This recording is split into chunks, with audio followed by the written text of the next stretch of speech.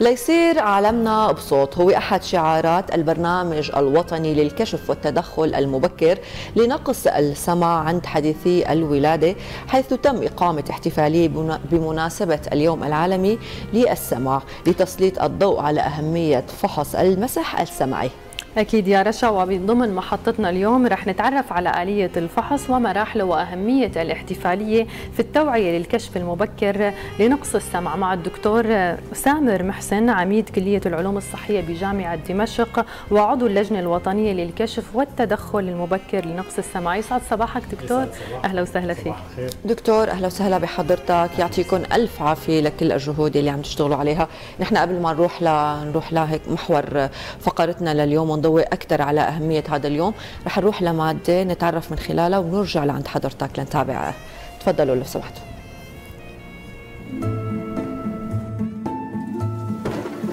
ما كنت بعرف إنه صوت المطر حلو.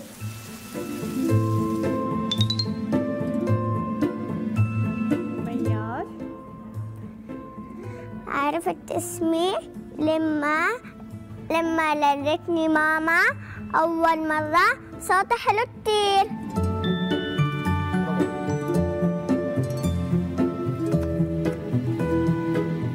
عرفت بالكل. أنا شاطر فيني. اسمها منيح. حفظت صوت الحيوانات قطع مياو. كلب. أو أو أو. بطة. وك وك وك وك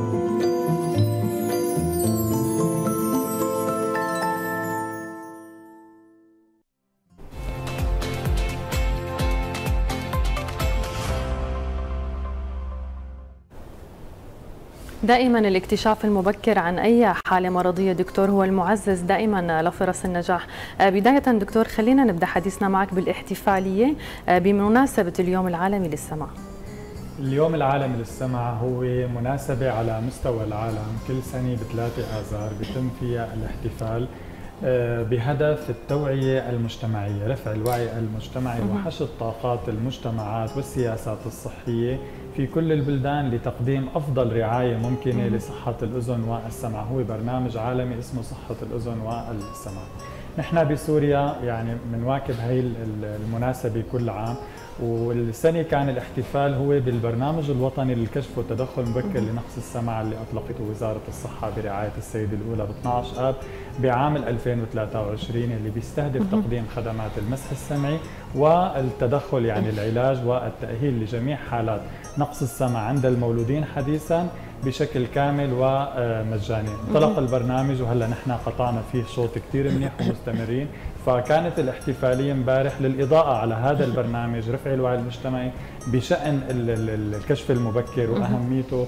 آه، وين وصلنا نحن؟ أهمية التشاركية الجهود المبذولة كنا كل الشركاء مع بعض بفريق واحد بفعالية. آه، تا يعني نوع من التحفيز للاستمرار وخطوة نحو الامام بهذا البرنامج. يعطيكم ألف عافية، اليوم أنتم بتستاهلوا أكثر من احتفالية بعد ما شفنا هذا الكليب شيء بكبر القلب مثل ما بيقولوا هدول الأطفال يلي ما عرف اسمه لحتى تخلص سمعه. من مشكلته وقدر يسمعه وما قدر يسمع صوت, صوت أمه. أمه. قد إيه اليوم آه، فرحة الأهالي كثير حلوة بهي الخطوة ولكن نحن دائما بحاجة للكشف المبكر وخاصة بوقت بنقول حديثي الولادة والأطفال هون عم نحكي عن مرحلة حساسة من العمر وطفل بالنهاية. يعني قد إيه اليوم مفروض يروحوا للكشف المبكر وأهميته؟ تماما. هي أهمية الموضوع بأنه نحن هلأ صار شعارنا أنه نمنح حياة طبيعية لكل طفل مصاب بنقص السمع. كان ممكن بالثقافة السابقة أنه الشخص المصاب بنقص سمع رح يكون عنده إعاقة سمعية يستخدم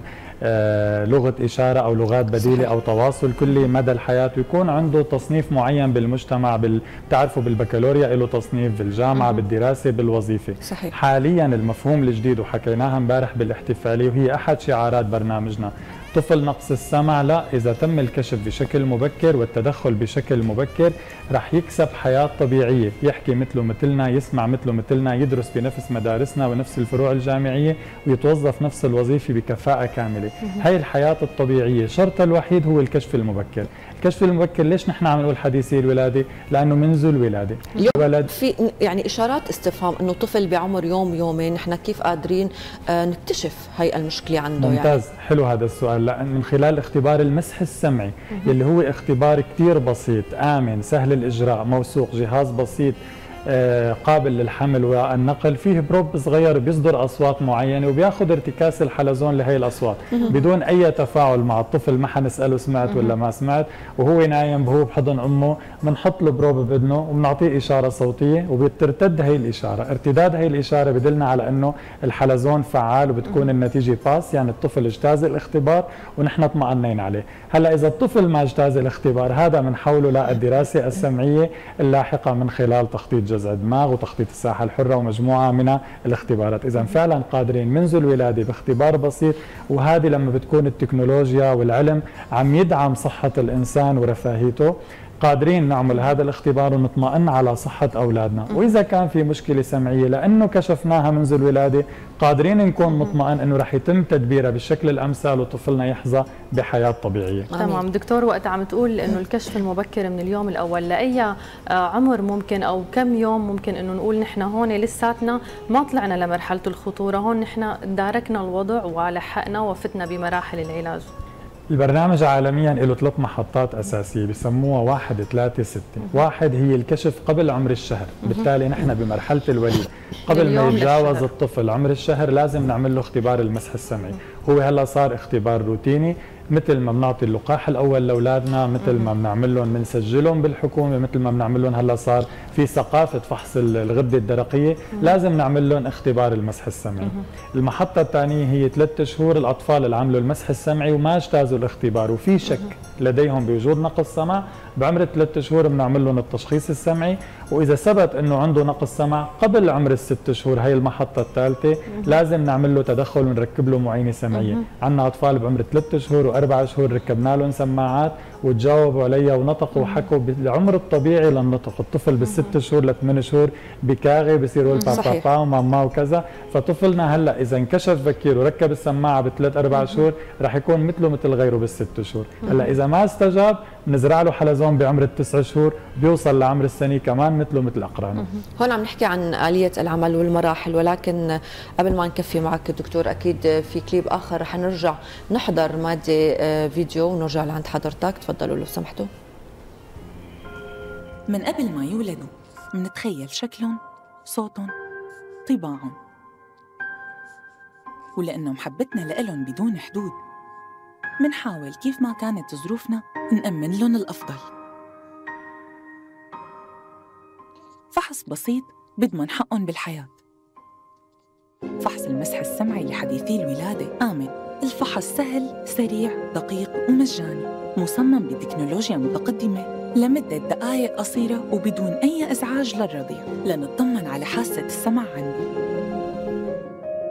ولنضمن بداية سليمة وحلول سريعة.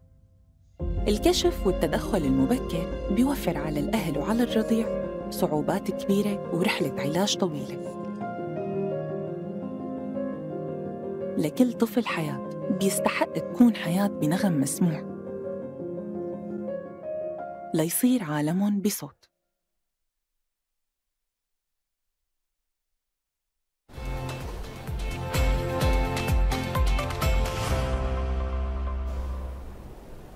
شفنا قد إيه الفيديو اليوم مؤثر دائما هيك الطفل له خصوصية بحياتنا. أكيد. دكتور آه، سمعنا ضمن الفيديو آه، قد إيه اليوم الكشف المبكر عم بيوفر رحلة علاج طويلة على الأهل غير خلينا نقول العواطف والأحاسيس وهذا التعاطف بيكون كثير كبير مع الطفل اللي عنده مشكلة. إذا رحنا لموضوع التوعية عند الأهل وأهميتها اليوم الأهل يكونوا إنه مدركين لحجم المشكلة يتجاوبوا مع الفحص المبكر.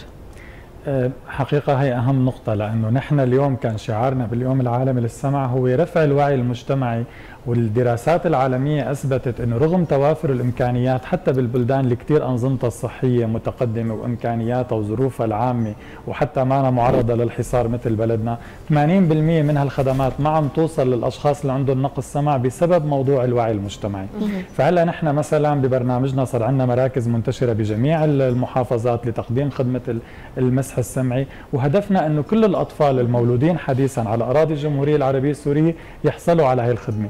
هذا الهدف لن يتحقق إلا من خلال تعاون المجتمع أو وعي المجتمع أو طلبهم للخدمة. يعني كل أسرة إجاها مولود جديد لازم هي تبادر لطلب الخدمة لأنه الخدمة متاحة والخدمة مثل ما شفتوا بالفيديو بسيطة آمنة سهلة مجانية ما بتعمل أي إزعاج للولد ونتيجتها مضمونة. بالتالي نحن هلأ يعني ال التأكيد الأساسي على تعاون المجتمع مع البرنامج. قد أنا ما أفتح مراكز بيكون عندي بروتوكولات صحيح. عمل وفنيين يشتغلوا بالبرنامج. إذا ما الناس إجت وطلبت الخدمة وطمنت على أولادها ما رح نوصل لهدفنا أنه ما يضل طفل واحد بسوريا مصاب بنقص سمع إلا يتم تدبيره بالعمر المناسب تيحظى بحياة طبيعية هذا تأكيدنا الدائم. تمام دكتور نحن نحكي عن الأطفال هو البرنامج مختص يمكن أكثر للأطفال حديثي الولادة، لكن اليوم الأطفال اللي بيتم اكتشاف هي الحالة عندهم يمكن بمراحل متأخرة بعمر ثلاث سنين أو أربع سنين، هل هدول ممكن إنه يكون في لهم علاج معين أو ممكن هن يكونوا ضمن هذا البرنامج؟ آه، حلو السؤال كمان لأنه يعني بيخطر على بال كثيرين من الناس. بالأساس في برامج مختلفة موجودة سواء بوزارة الصحة أو بالجهات الداعمة والشركاء مع البرنامج الوطني مثل المنظمة السورية للأشخاص ذوي الإعاقة امال إنه الأطفال اللي عندهم نقص سمع خصوصا أطفال قبل سن المدرسة شو بنعمل فيهم؟ أول شيء بنحولهم لتركيب معينات سمعية. في عدة جهات ممكن تقدم المعينات السمعية. منها جمعيات خيرية متعاونة آه، مع الفريق تبعنا وال الأهم هي وجود منظمة امال منظمات الهلال الأحمر كمان بتدعم المعينات السمعيه، الأطفال اللي ما بيستفيدوا على المعينات السمعية بيتم ترشيحهم لزراعة الحلزون، في معايير عند الجهات اللي بتزرع حلزون لها علاقة بالعمر بتطور اللغة بالتزام الأهل بالحصول على الخدمة، بالتالي كبرنامج وطني للكشف والتدخل بك النقص سمع عند حديثي الولادة هو مشروط بالحصول على خدمة المسح السمعي قبل عمر الشهر.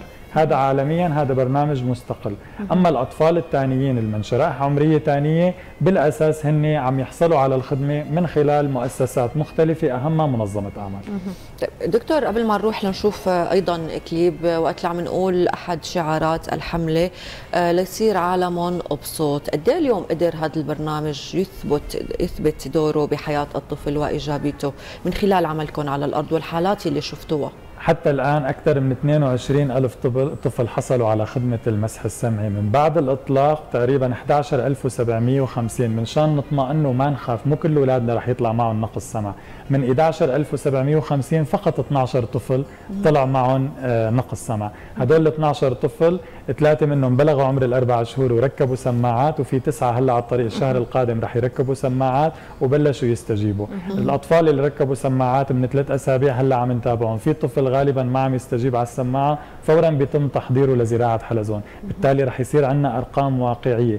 أول رقم وهو الأهم إنه 11750 أسرة اطمئنوا على سمع أولادهم. صحيح. و12 أسرة اكتشفوا نقص سمع كان ممكن يكتشفوه بعمر ثلاث سنين مثل ما سألتي ويكون عندي مشكلة كبيرة إنه الولد تأخر. هدول 12 كشفناهم بعمر الشهر وركبوا سماعات بعمر ثلاث شهور وهلأ نحن ماشيين معهم لأنه نضمن ه 12 طفل ينضموا لل 11750 يضمنوا حياه ويفوتوا كلهم على الروضة بنفس العمر وبنفس الروضة وماني مضطر أعزلهم بمجموعات خاصة. هي النتائج اللي بنتمناها تزيد نحن بدنا ال 22000 بدنا 100000 و500000 يلي هن عدد المولودين كل سنة بسوريا. تمام دكتور رح نرجع ونكمل حديثنا بس رح نتابع المادة التالية لنتعرف أكثر على آلية ومراحل البرنامج الوطني للكشف المبكر والتدخل لنقص السمع. منتابعة سوا. بعد فحص المسح السمعي لطفلك وفي حال الكشف عن مشكلة عنده بالسمع بيتم تحويلك لمركز استقصاء. يلي دوره يبين درجة نقص السمع والمتابعة يلي بتتطلبها حالته. مع الأخصائيين بالمركز بيتم وضع خطة سواء الحالة بتحتاج متابعة فقط أو سماعة أو حتى زراعة حلزون. فحص المسح السمعي لحديثي الولادة والكشف المبكر عن نقص السمع عندهم بيساعد الأطفال للتواصل والتعلم وبيقدروا يعيشوا عمرهم اللغوي المطابق لعمرهم الحقيقي. ليصير عالم بصوت.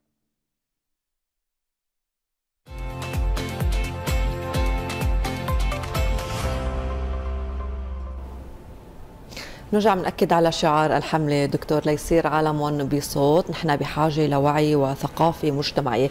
وحضرتك قلت أنه كتير مهم اليوم الثقافة المجتمعية. ولكن هي الثقافة بحاجة أيضا لندوات من أطباء مختصين للتعريف بأهمية الكشف المبكر. هل عم تشتغلوا على هي الندوات؟ هل ال social media اليوم سهل هي المهمة عندكم؟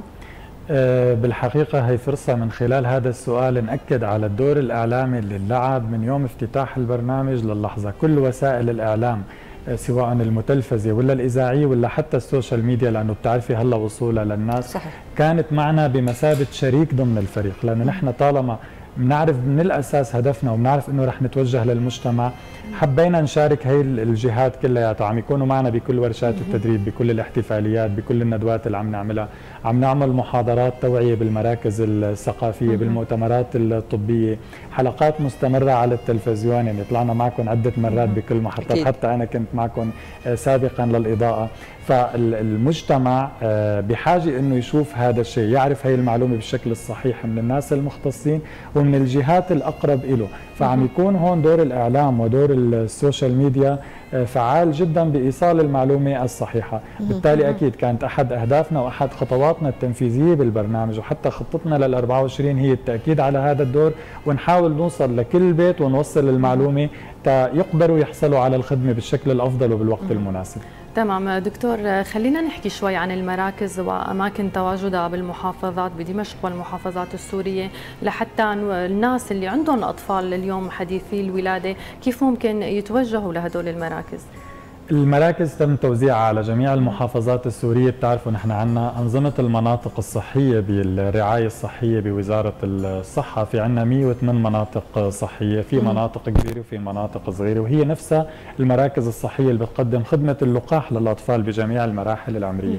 لما افتتحنا البرنامج كان عندنا 43 مركز مسح سمعي. خلال هالخمس شهور قدرنا نزيدهم. صار عندنا اليوم 64 64 مركز مسح سمعي ولسه هلا بازدياد. يعني غالبا إن شاء الله ما حنختتم ال 2024 وإلا يزيدوا بحدود ال 20 مركز ثاني يعني نحن عم نحاول نقترب إنه كل منطقة صحية على أراضي الجمهورية العربية السورية في جميع المحافظات فيها مركز مسح سمعي لأنه المركز المسح هو اللي راح يستقطب ال 500 ألف مولود. بالتالي لازم تغطي جميع الجغرافيا السورية. هلا مثل ما قلنا من ال من ال 11 ألف مثلا قد إيه تحول لخدمة الاستقصاء؟ بالتالي مراكز التشخيص أو الاستقصاء اللي بتعمل الدراسة الكاملة هي ممكن يكون عددها أقل. بالتالي بمركز كل مدينة حاليا نحن بحاجة إنه نجهز مركز. حاليا عندنا سبع مراكز استقصاء وكمان عم نحاول نزيدها تتكون 14 مركز بكل المحافظات ولاحقا تزيد. أكثر. ومن ثم مراكز التأهيل. حاليا عندنا ثلاث مراكز تدخل وتأهيل. خطتنا بال 24 إنه نزيدها بحدود ثلاث مراكز لوزارة الصحة